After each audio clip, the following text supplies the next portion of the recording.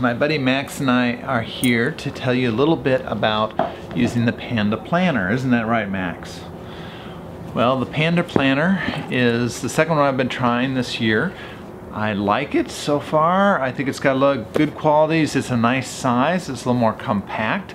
It's got lots of little ribbons here. It's got three little ribbons where you can um, mark your place in it, and we'll see why in a bit A couple things that uh, are different about it compared with other planners. Max, where you going, buddy? Uh, the way they lay out the days, it is still a two-page layout for each day, but I like the fact that the day and date are not uh, prescribed up here, so it doesn't say Sunday or Monday or Tuesday or anything like that. So if you stop using it, so you go on vacation or something like that, um, you can uh, leave gaps. So I think that's kind of useful if you're traveling for a day and not much is going to be happening. Um, it might be good to be able to leave those gaps.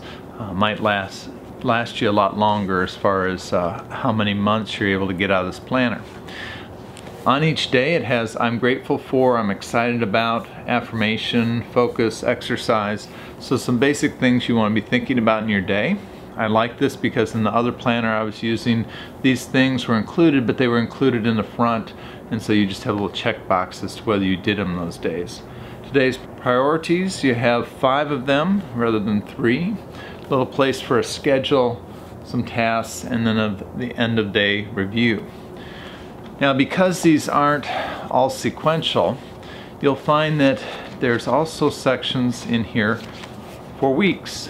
So the week sections are separated and that's probably why we have these extra little ribbons here to put our placeholders but um, you're gonna have to be going back and forth so you don't so you don't go through your days and at the end of the week Saturday or Sunday encounter a thing for planning the next week and reflecting on the previous week instead you have to go to the front to do that so maybe that's a disadvantage for some people maybe they won't like that as well there is uh, monthly planning as well.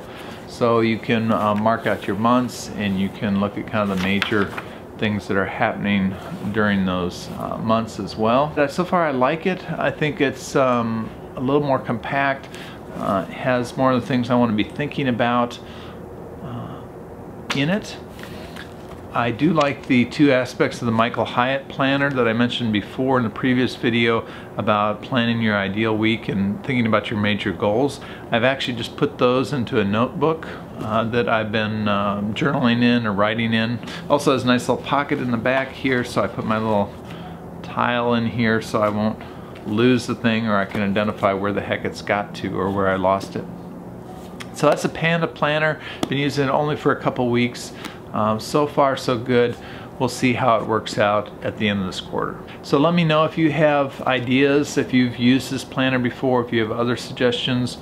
Um, I'm going to still be using this in concert with OmniFocus.